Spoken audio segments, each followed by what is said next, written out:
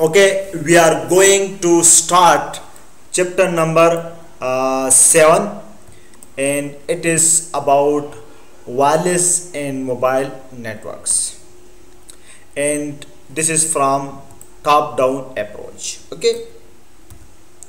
So in the last class if you do remember so we had discussed physical layer from the data communication and networking fourth edition book written by Forouzan more specifically we discuss chapter number 3 and some part of chapter number 4 okay.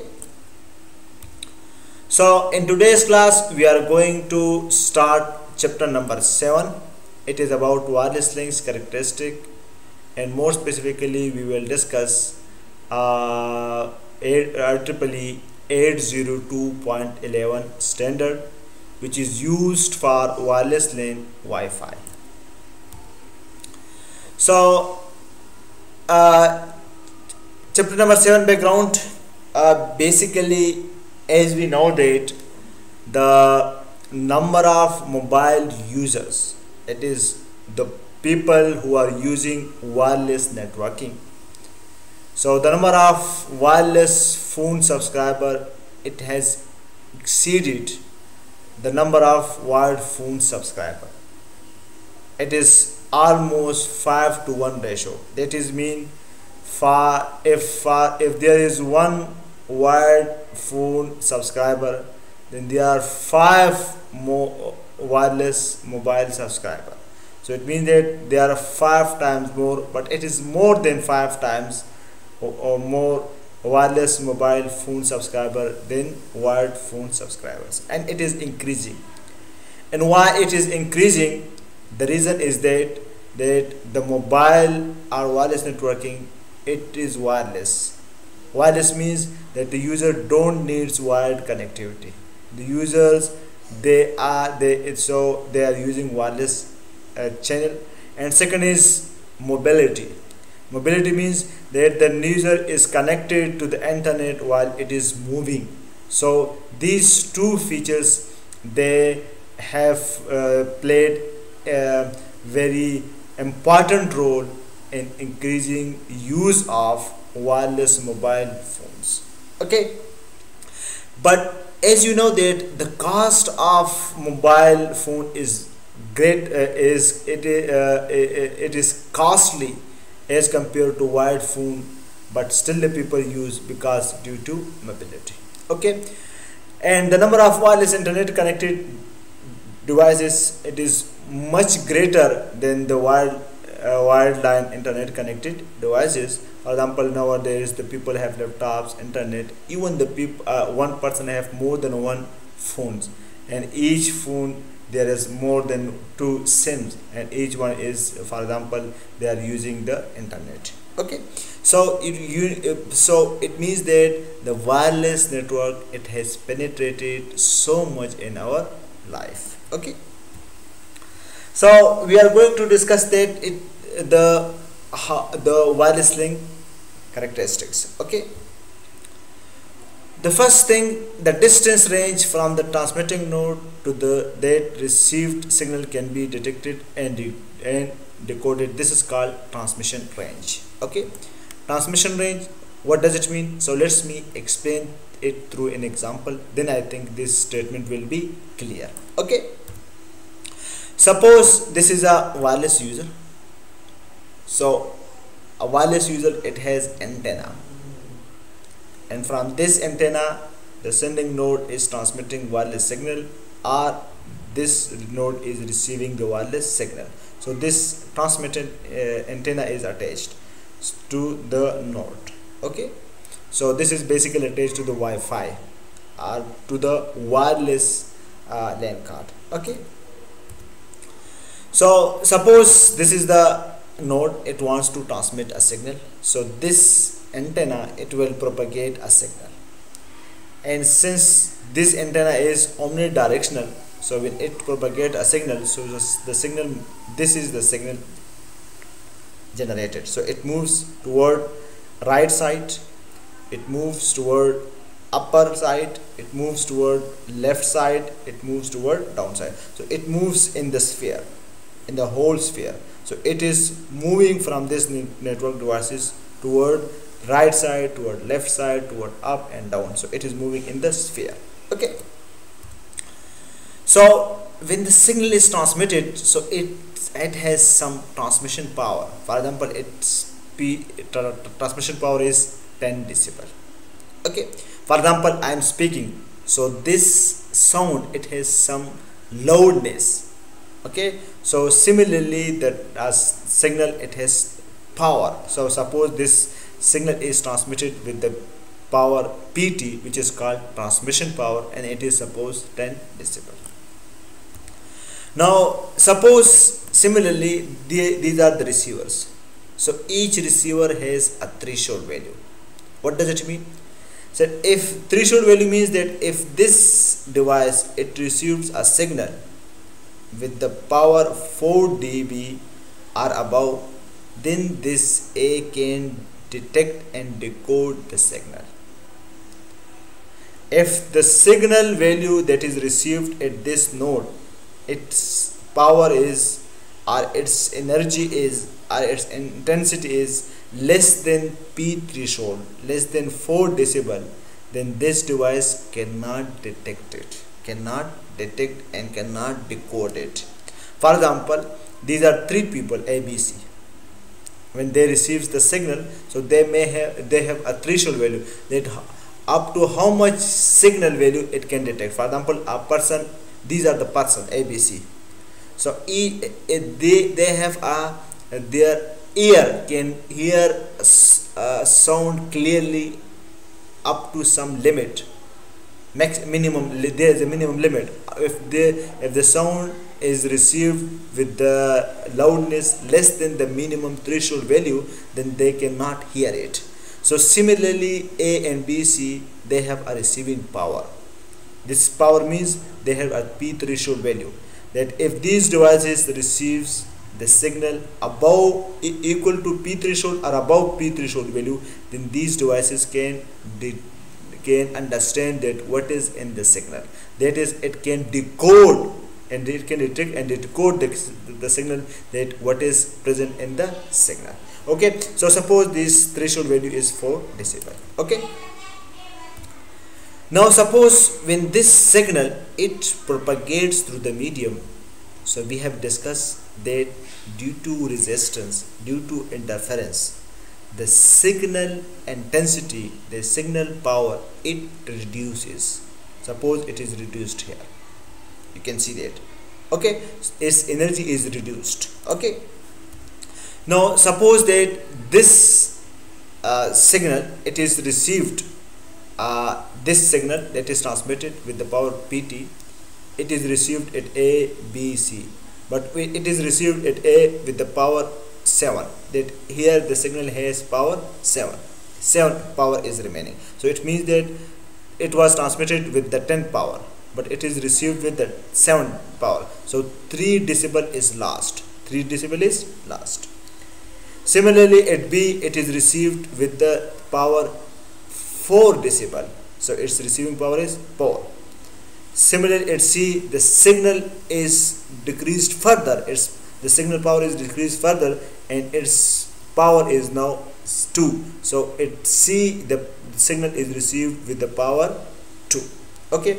Since each abc it has threshold 4 decibel. It means that abc can understand the signal if its power is 4 decibel or above 4 so it means that a can understand the signal because the signal value is 7 so it is greater than 4 so a can understand and decode. B can also understand and decode because it's uh, the signal power receiving power it is equal to threshold of the b threshold of the b but the c it can receive the signal but it cannot detect and decode. Why? Because its receiving power is 2 the signal power is 2 but the p uh, but the c it has threshold 4 that that the C can detect and understand the signal if the signal value is above 4 4 or four, above 4 but here the signal value is 2 so it cannot understand. Okay so what does it mean? So it means that this is the the red one this is the radio range. Radio range means that this is the device if it receives a signal okay uh, with the power 4 if this signal traverses more then the power will be less than 4 so it if it is less than 4 then no one can understand. No one can understand. So it means that this is the transmission power. That within this circle the signal power remains 4 or greater than 4 if it remains 4 or greater than 4 then it can be detected and decoded. So this defines the transmission range so transmission range is the distance from transmitting node from transmitting node.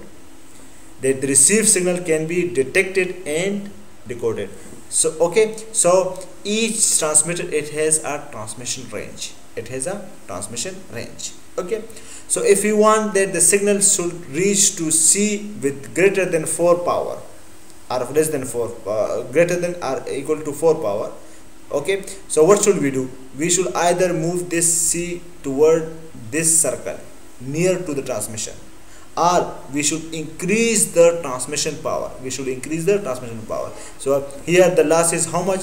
The loss is 8 at C point the loss is 8 because the receiving power is 2 and the transmission power is 10 so how much is loss? 8 so if we can increase the power by up to 14 if the power if the transmission power is 14 decibel then here the it see the receiving power will be 6 so it can be detected. Okay? So this is the transmission range. Okay? And these are the these are the receiving power. Receiving power means that the signal is received at this is this device and the signal power is 7 at this moment. At this moment here the signal power is 4 decibel so 6 decibel is lost and here the signal power is 2 decibel okay?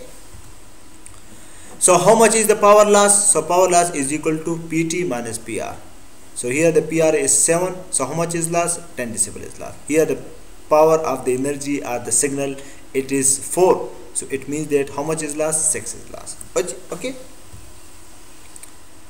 So now we are discussing element of wireless networks okay a wireless network it consists of wireless host like laptop, mobile phones or computers. So wireless host, these are laptop or smartphones where the user sits and the user use the internet. So it runs the application and the user use the internet through application. So here, eh, okay. So it may be stationary. For example, a desktop computer a laptop a person is sitting or it can be mobile. For example a person has mobile and it is moving or a person has laptop and it is moving. Okay. So uh, wireless network it consists of hosts. Wireless host it consists of base station. Okay. So we will discuss it. So the first the component of the wireless network is wireless host. Okay the second is base station. Base station this is base station. This is base station. This is base station. Or this is the base station. So base station is typically it is connected to the wired network. Base station is connected to the wired network. Through wired network it is connected to the network infrastructure. And its purpose is relaying it is because it receives the signal data from the host and then it transmits the data to the destination host or to the network infrastructure. Okay so it is just working as a relay as a forwarding agent. So it it it works as a relay. It is responsible for sending packet between wire network and wireless host in its area for example this is a cell tower. Or are in the wireless uh, LAN it is access point.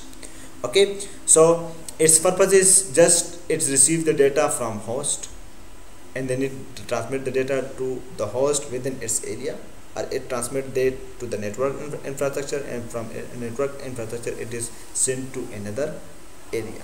Okay? And the wireless link and the wireless link so elements of wireless network are hosts base stations and wireless links. So the host and the wireless uh, and the base station it is also called access point. They are connected through wireless link. They are connected to wireless link. So typically used to connect mobile station to base station. But sometimes the base station can be connected to each other via wireless links but usually they are connected through the wired network. So the base station can also be connected through the wireless link. Okay? So also used as backbone link. Okay? So the wireless like what does it mean? That the wireless link can also be used as backbone link. What does it mean? The base station they can be connected to each other through the wireless as well. But here they are connected through wired network these base station can also be connected with each other through wireless link. Okay. So the wireless link it uses multiple access protocol to coordinate the link access. We will discuss it later on. Okay. So the wireless links they are of different data rates. They are different with different frequency having different data rates and having different transmission distance. It, okay? So the wireless links they are different types. We will discuss it suppose. So the wireless technology that we are using today so they can be 802.11 ac 802.11n 802.11ag 802.11b 802.15 802.11ag point two point four G. 3G 2.5 GB and 2G okay so these are different wireless links. You can see that each wireless link have different data rates. For example 802.15 it can support data rate up to 1 Mbps. 802.11 AC it can support data rate up to 1300 Mbps Similarly, the 4G technology, it can support data rate up to 11 Mbps. Okay, so each wireless link, it has its own data rates. Each wireless link, it has its own data rates. And each wireless link has transmission distance, that how much should be the distance between sender and receiver. So you can see that these technology they are used for indoor so they can cover the sender and receiver they should have this maximum distance from 10 to 30 meter from 10 to 30 meter. And this technology they can cover outdoor from 50 meter to 200 meter from 200 meter to 4 kilometer and even from 5 kilometer to 20 kilometer. So you can see that the wireless links they have different data rates and they have different transmission range okay? So if the transmission range is increased the transmission distance increased so the data rate is decreased. The data rate is decreased. Okay? So the next part the elements of wireless network is infrastructure mode. So there are the wireless network it is of two types. One is called infrastructure mode. Okay? So what does infrastructure mode means the wireless network, it can be infrastructure mode. Infrastructure mode means that the base station connects mobile into wired networks. So there are base stations, right? Base station, base station, base station, base station. And these base stations are connected through the network infrastructures. So the host, they are connected to the wireless network through base stations, through base stations. So, and if two if these two users they want to talk so they cannot talk to each other. They have to talk through base stations. So this is called infrastructure mode. So in infrastructure mode wireless network what does it mean? That there are base stations special devices access points. And these access point or base station. They connects the hosts together or to the network infrastructure to the wire network okay? So it means that if two devices wants to communicate they cannot communicate. They have to communicate through the access point. If this device wants to communicate with this devices so this is attached within one access point this is attached with another access point. So this access point will transmit data to the uh, to the base station. Base station will send data to the wired network and it will be reached here. And this access point will deliver data to this destination. Okay but you can see that one device it should be connected to one access point at a time. A device cannot be connected to more than one access point. Okay? So when a device moves from one access point to another access point so this is so the x so the device has to connect with the new access point. Okay? For example here you can see that this device is it is here so it has it, it is attached to this base station. Support it is moving and it is coming closer to this base station. So it will disconnect with from this access point and it will connect with this access point. This is called handoff procedure. When a host dis deassociate or disconnect from one from one access point and reconnects with a new access point or new base station this procedure is called handoff. This is called handoff. So the mobile change base station providing connection into wired networks. So this is called handoff. Okay? So there are different algorithms used to, for handoff. So if this base station is receiving the data from if this host is receiving data from this base station and this base station. So it it, it can connect to both base station but the host has to connect with the one base station at a time so to which it should connect so from where this, this strong received signal is received. From where the strong signal is received. Okay? So if the strong signal is received from this base station so it will connect with this base station. Okay? Now another type of wireless network it is called ad hoc mode. In ad hoc mode there is no base station.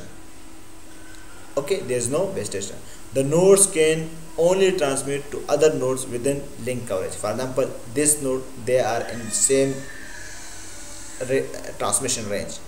So they can talk to each other okay directly. This is called ad hoc mode. But this base station cannot talk to this base station. This host cannot talk to this host. Why? Because this host is transmission range to the here. So it cannot reach to here cannot reach to here. So therefore they are in different transmission range. So they cannot talk okay. So node organize themselves into a network. The nodes they organize themselves. Okay. And they and they can so both uh, each node is uh, each host is working as a host as well as a router. Okay. So we will discuss it later on. Okay. So the wireless network there are different types. Okay and similarly the infrastructure network it can be single hop and it can be multiple hops and the best the uh, the ad hoc mode it can be also single hop or multiple hop okay let's discuss it through an example. This is the infrastructure mode. Here you can see that here each base each host is directly connected to the base station. This is called single hop this is called single hop that each base station is directly connected to the base station directly. This is called single hop and this is called multiple hops here this base station this host cannot reach to base station directly. So it sends the data to this host and this host didn't send data to this base station. So this is called multiple hops this is called multiple hops okay? So this is basically used in wireless mesh networking. Okay so the infrastructure mode it can have single hop and it can have multiple hops single hop host connects to the base station which connects to the large network. So the host is directly connected to the base station. This is called single hop you can see here. The host are here the host are, is directly connected to the base station. This is called single hop infrastructure mode. Okay? In this infrastructure mode multiple hops host may have to relay through several wireless nodes to connect to larger internet. This is called mesh network. For example here this mobile this host okay? For example this host it, it is not directly reachable to base station. So it transmit data to this host and this host then send data to this base station. So this is called multiple hops okay? Similarly the ad hoc network it can be single hop you can see that all the nodes they are within the range. This is called single hop. And the ad hoc network okay so they can each one can transmit to each other okay. Similarly the ad hoc network will be multiple hops. You can see here that a has transmission range this red one up to here. So a can talk to b and b can talk to a okay similarly th this is the radio range of b. This is the radio range of b. So a and b they are in their each other transmission range. So they can talk to each other. Okay? But c it has transmission range here. This is the c transmission range which is in the green. Okay? So it means that c and b can talk. C and b can talk. Okay? Similarly d. So, so now a suppose a wants to send packet to d a wants to send packet to d so a transmission range is here red one. So a can reach to b a cannot reach to c and d. Okay? So but a wants to send data to d so how it can send? Okay? So a will transmit data to b. So because a can reach to b so a will transmit data to b. Now b can reach to c okay b can reach this is the transmission range of b the dotted green uh, dotted blue lines these are this is the transmission range of b so b can reach to a and c. So b will transmit to c. So b can reach to c. And then c can reach to d because this c has this is transmission range of c which is in the green color. Okay so c can transmit to d. So this is called multiple hops say a is transmitting data to d. So a is passing data to b. B is passing through uh, to c. C is passing to 3 so the a sends the data to d through passing through multiple hops through b and c. So this is called multiple hops ad hoc. This is called multiple hop ad hoc mode. So this is the ad hoc mode multiple hops. Okay? So we have discussed uh, the uh, the the wireless network okay? The infrastructure mode can be single hop and multiple hops.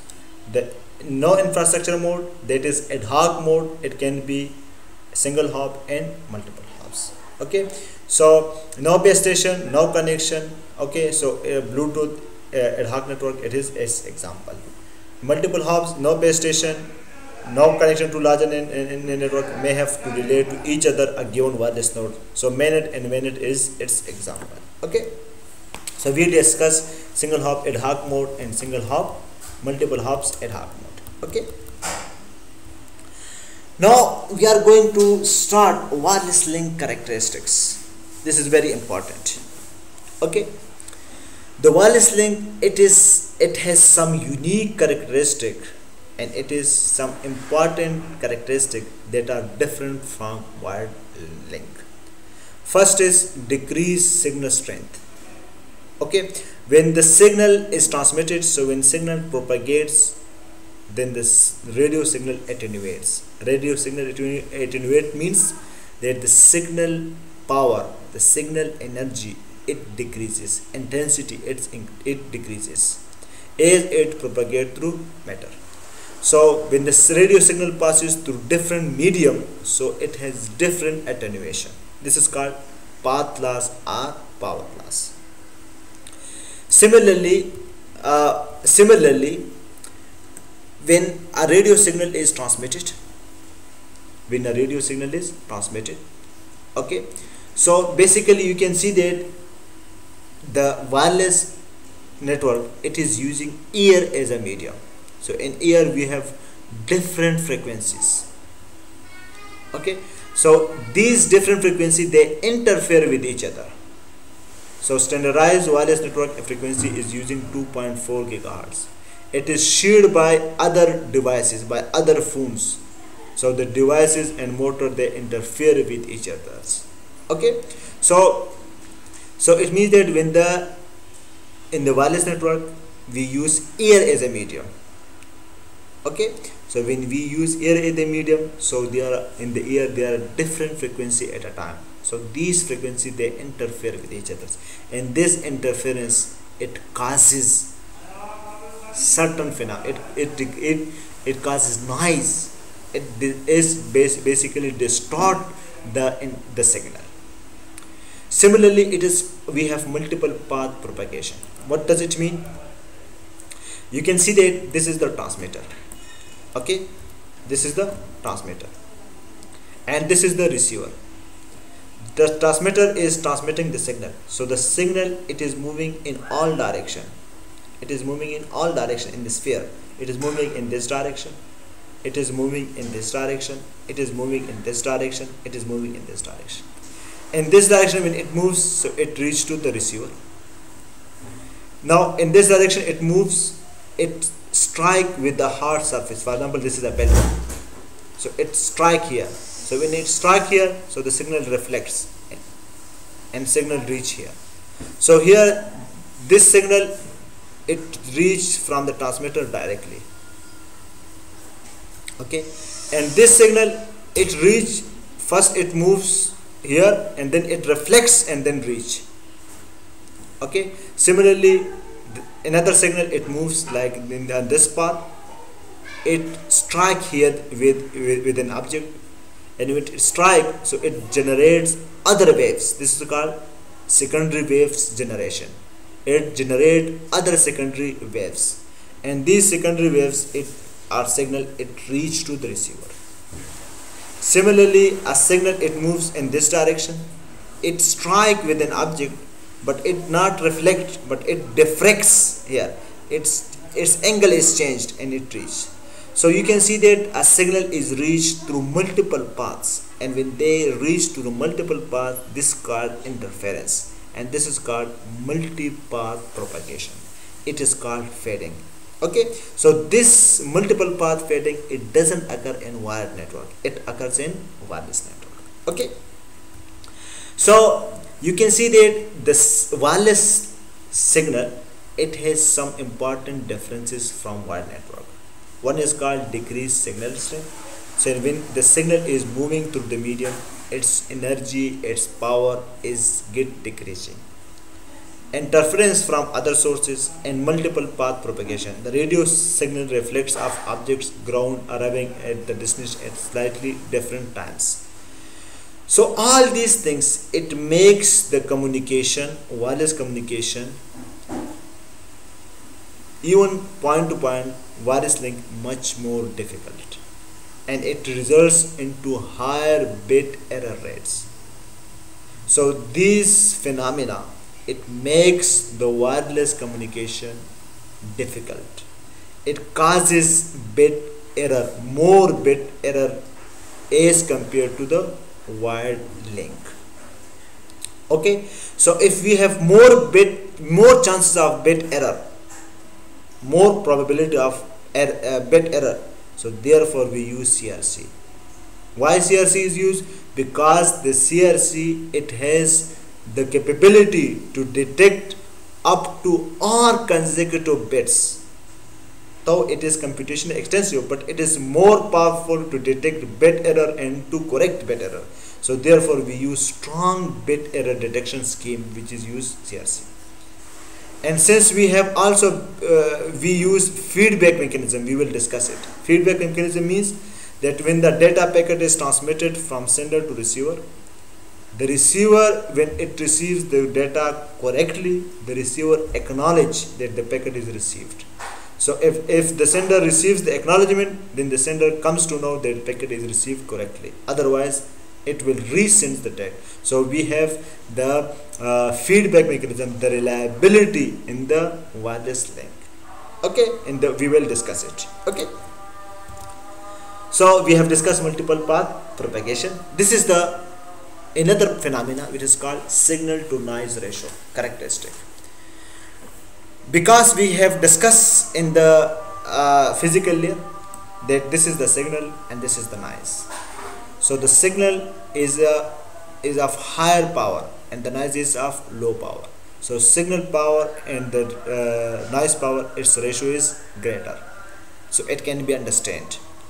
But if the signal and the noise their ratio is lower that is the signal power and the noise power they are closer to each other then the signal to noise ratio is lower. So the signal cannot be understood.